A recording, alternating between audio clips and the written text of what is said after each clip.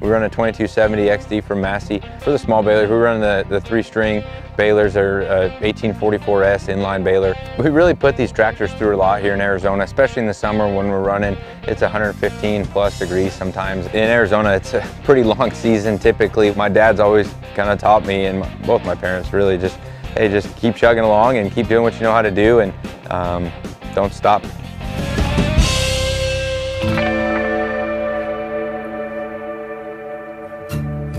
My name is Matthew Hancock with LM Hancock Farms. I farm here in Arizona. The majority of our, our crop in the last few years has been alfalfa.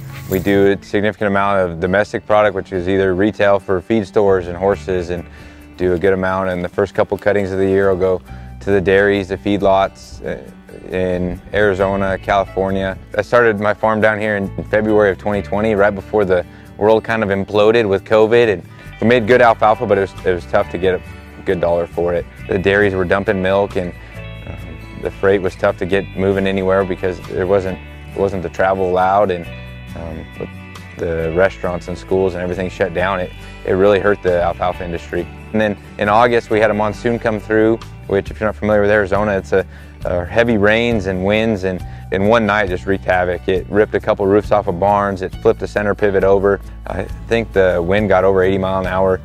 Um, it was quite the mess. I had a few hundred acres of hay that was cut that it cleaned off the field better than if we would have raked and baled it.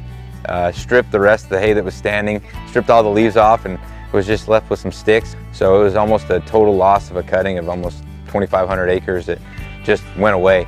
Um, we just started plugging away and fixing what we could and here we are today. I went to school at Arizona State University and I got a degree in civil engineering. I tried to focus on uh, water and hydrology type classes when I could.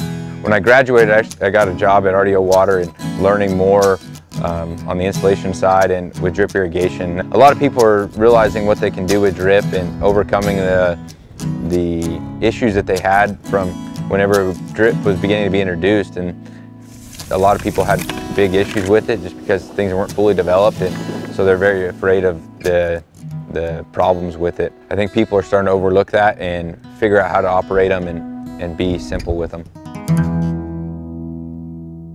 In 2020, when I was starting my business, I really needed to pay attention on the cost that I was going to take on and um, being careful on that and making sure that I got the right equipment for the job, but also pay attention to the price. And for the rake tractors and then for the little balers, the 1844Ss, these 4710s really worked well. We really put these tractors through a lot here in Arizona, especially in the summer when we're running. It's 115 plus degrees sometimes, and they really hold up to the abuse really well. They're fairly simple to operate, and it, it really makes it nice when you throw a, a driver on there, an operator on there. Uh, you don't often have a whole lot of time for training, so you need things simple to, to jump in and get working. We run a 2270 XD from Massey. They put out great consistent bales that we typically run 13 to 1400 pound bales, especially in the custom work, really dial it in and, and make a good product for the customer. For the small balers, we run the, the three string balers, are uh, 1844S inline baler. Had a lot of success with them. They make a really nice consistent bale. With retail, the, the look and the display is everything. Uh, a lot of it's with looking at the leaf, looking at the leaf retention, the squareness of the bale, the density of the bale.